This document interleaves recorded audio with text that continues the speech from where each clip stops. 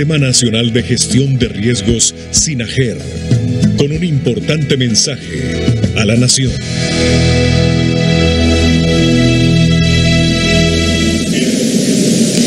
Buenas noches, pueblo hondureño. El día de hoy vengo a compartir con ustedes la situación actual de coronavirus en nuestro país y recordarle que el gobierno de la República de Honduras ha puesto a su disposición las brigadas contra el COVID-19.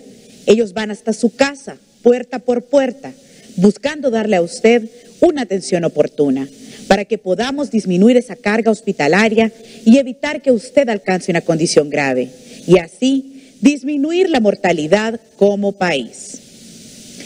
El día de mañana, lunes 6 de julio del 2020, las brigadas contra el COVID-19 visitarán en el Distrito Central las siguientes colonias. Colonia Cerro Grande, zona 8. Colonia Nueva Esperanza. Colonia Oscar Castro. Colonia Brisas del Valle.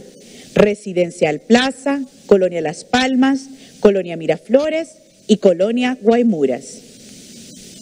Hoy, domingo 5 de julio del 2020, el Laboratorio Nacional de Virología ha procesado un total de 1.796 pruebas de PCR. De estas, 1.022 dieron un resultado positivo y 774 un resultado negativo. La distribución a nivel nacional de estos 1.022 casos está de la siguiente manera. 377 el departamento de Francisco Morazán, 348 en el departamento de Cortés, 72 en Atlántida, 72 en Choluteca, 81 en Lloro y el resto a nivel nacional. Lamentamos profundamente confirmar el fallecimiento de 10 compatriotas por coronavirus. De estos, siete pertenecen a Francisco Morazán, dos a Cortés y uno a Colón. La situación de los pacientes hospitalizados a nivel nacional está de la siguiente manera.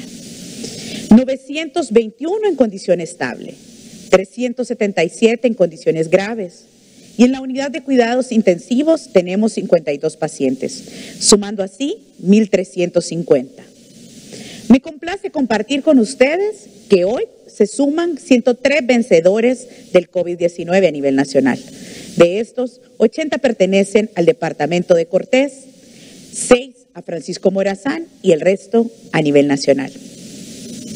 Hoy, 5 de julio del 2020, tenemos un total de 1.022 nuevos casos, lo que suman durante lo largo de la pandemia 23.943 casos de coronavirus.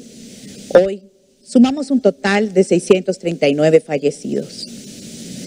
Me complace compartir con ustedes un total de 2.490 pacientes recuperados que han logrado vencer el COVID-19 en nuestro país. La situación general de los pacientes en Honduras se encuentra de la siguiente manera. El total de casos, 23.943. Casos actualmente activos, 20.814. Recuperados, 2.490.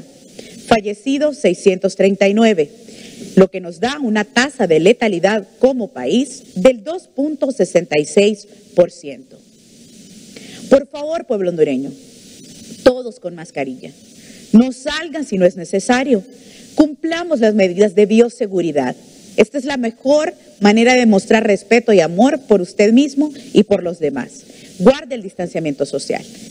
1.5 a 2 metros de distancia entre cada persona no asista a reuniones donde hayan más de 10 personas. Por favor, no comparta sus alimentos, no comparta sus bebidas, no comparta los, sus utensilios personales, pero siempre use su mascarilla. Estemos atentos de los síntomas que presentan las personas que están cerca de nosotros para que las podamos llevar a tiempo a recibir una atención médica. Por favor, no se automedique. Recordemos que el tratamiento maíz es para pacientes diagnosticados por COVID-19.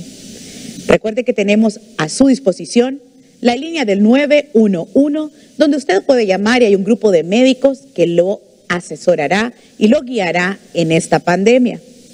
Recordemos abrirle las puertas a las brigadas contra el COVID-19. Pueblo hondureño, seamos empáticos, con todas las personas que están trabajando por mejorar nuestra salud en esta pandemia. Y seamos solidarios con todos los pacientes que están sufriendo esta enfermedad. Gracias por todo y que Dios bendiga Honduras. Todas las estaciones de radio, televisión y sistemas de cable